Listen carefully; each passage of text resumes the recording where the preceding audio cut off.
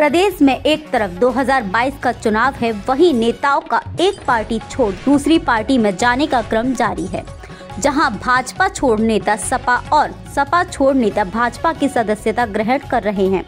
वहीं यूपी के फिरोजाबाद में सपा से बागी हुए मुलायम सिंह यादव के समधी हरिओम यादव ने आज समाजवादी पार्टी को तगड़ा झटका देते हुए डिप्टी सीएम केशव प्रसाद मौर्य, दिनेश चंद्र शर्मा प्रदेश अध्यक्ष स्वतंत्र देव सिंह के समक्ष भाजपा की सदस्यता ग्रहण की।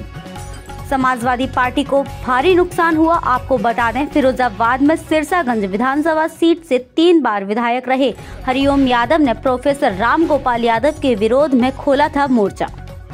मोदी लहर में निकाली थी समाजवादी पार्टी की सीट, लेकिन आज सपा से बागी हुए मुलायम सिंह यादव के समधि सिरसागंज विधायक ने भाजपा की सदस्यता ग्रहण कर समाजवादी पार्टी को भारी नुकसान दिया।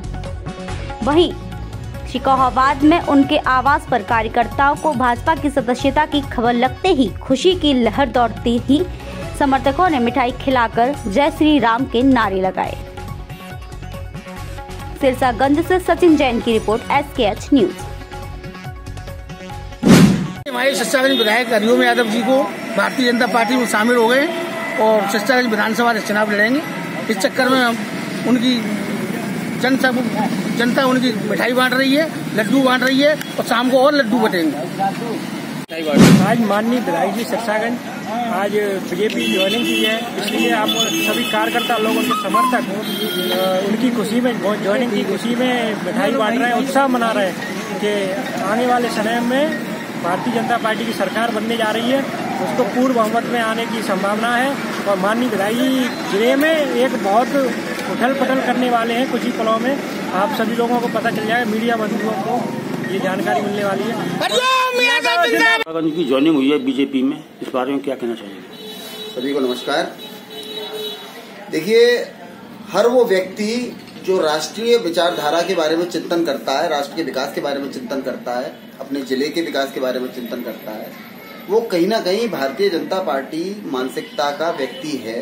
ये कहने में मैं बिल्कुल पूरी तरीके से तत्पर हूँ और ये सत्य है। और विधायक जी एक स्वयं में बहुत अच्छे व्यक्ति हैं। उन्होंने हमेशा समाज के विकास के बारे में चिंतन किया है। मुझे पहले से ही पूर्वाभास था कि कभी ना कभी विधायक जी भारतीय जनता पार्टी के साथ आएँगे। और हमारे ज़िले और हमारे प्रदेश के विकास में अपना सहयोग देंगे। भारतीय जनता पार्टी परिवार उनका बहुत बहुत स्वागत करता है। उनके उज्जवल भविष्य की बहुत बहुत कामना करता है।